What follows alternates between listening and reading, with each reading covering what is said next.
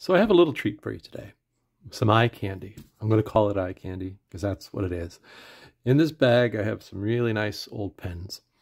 Uh, I got a call or an email the other day and saying what, uh, what I'd like to drop by and look at some old pens that a uh, customer had gone into a, the bookmark and she was wondering if there was anybody they knew or if they could help her get a, some pens she had found uh, working. And these pens belonged to her mother. Uh, and she had, they were sitting in a closet for years. And she looked in the box after, you know, it sitting in her, her closet for years. And there was some papers and other things. And then she found a little bag, and in it were these pens. And so I'm going to try to get each one working for her. Um, my hobby is you know, fountain pens, but also I love to to work on old pens. I'm not a professional. I don't consider myself a nibsmith or anything like that, or a nibmeister or or things like that. But I do love, you know, fixing up old pens. It's part of the hobby that I love, and I keep tinkering and working at it. So these pens don't need a lot of work in most cases, as far as I know, but we'll find out as I work on them. So the first one I'm going to pull out, I'm just going to randomly pull out, is this absolutely stunning Waterman. Like, look at that. That is so beautiful. Silver cl clip, silver band here. Um, sort of a chevron or a, a crossed pattern, triangular uh, pattern all throughout it. Celluloid. Interesting how it breaks right here. There's when you rub your finger on it, you can almost feel a seam. So I don't know if that comes apart there also.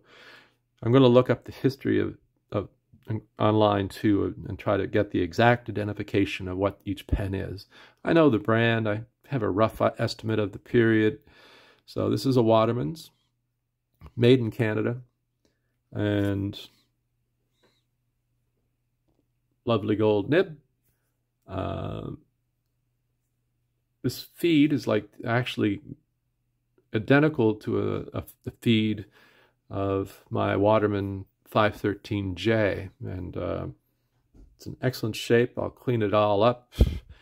Um, first thing I'm going to do is try to get the section off, see how the latex sac inside is. It, I, I'll, I know it's probably ossified and crumbly, and I'll clean all that out.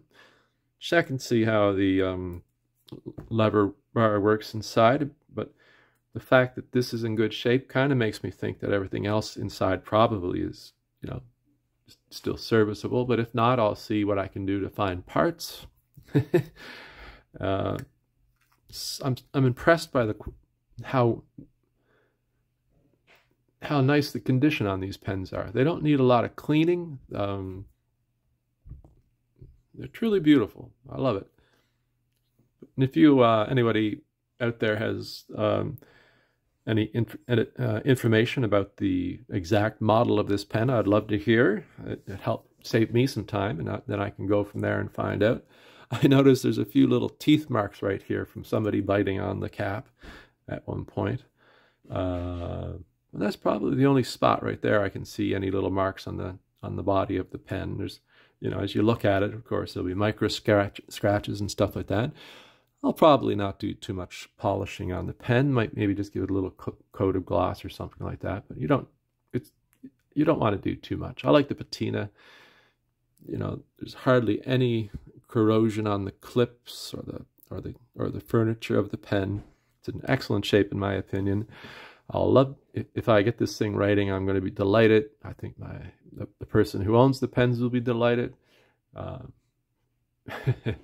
really beautiful pen. That's the great thing about fountain pens. They're made to last. Next one. Let's see what the next one is. I'm just going to randomly pull one out. Ooh. Beautiful Sheaffer. Wow, that's lovely. Green striped celluloid. Uh, lever filler, of course. Gold uh, clip band and lever. Gold plated, probably. Uh, I'm curious, there's a little indentation right there, so I'm wondering if it had originally had a white dot here. I'll look I haven't really done a lot of research on online yet. I'll, if you know what this pen is, let me know. Save me some time looking. Nice clear imprint there. It doesn't really say which model it is or anything like that. Beautiful chatoyance in this pen. It's like you're looking in through the surface and seeing the refraction of light. It's dancing almost every time you turn it. It's just beautiful. These old celluloid pens, man. I love them. But yeah, as you turn it, you can just see how that color dances. And of course, your typical beautiful Sheaffer nib. Nice feed. Nice little ink window right there. Or what appears to be similar to an ink window. You know, latex sac inside, of course, probably. So, you know, the ink window is more decoration than anything. Uh, just gives it a lovely amber, little bit of decoration right there.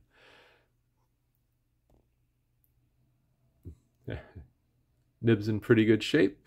Needs a little cleanup. Some old dried ink.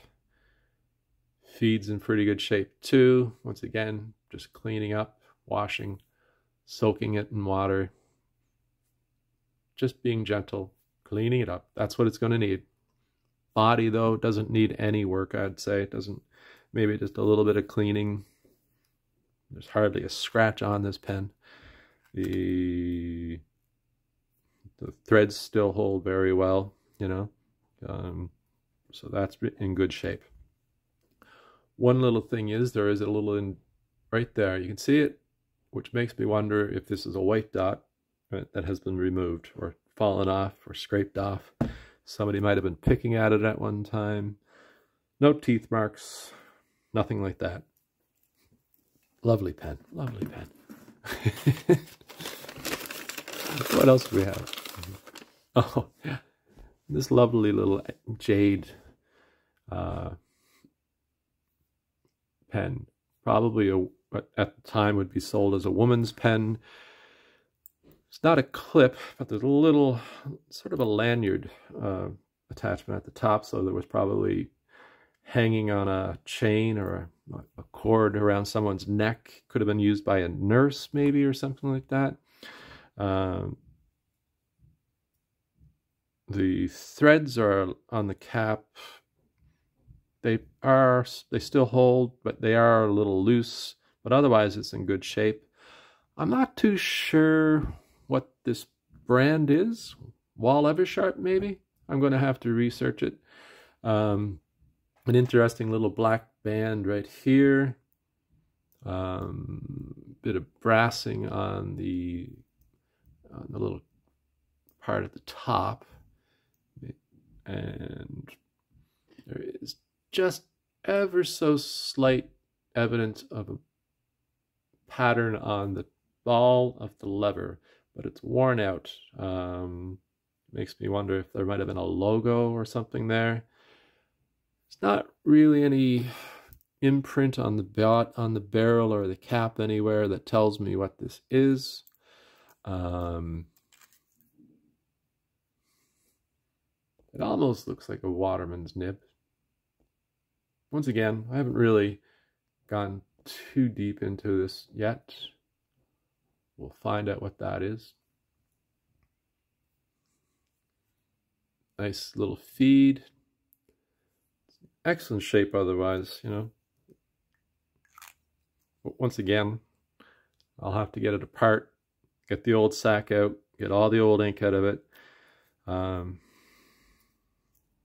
spend some time with it. I don't want to do any damage to it, so just as when, you're working with an old pen, sometimes you just have to go very slowly. And if you can't get it apart, sometimes it's best just to leave it.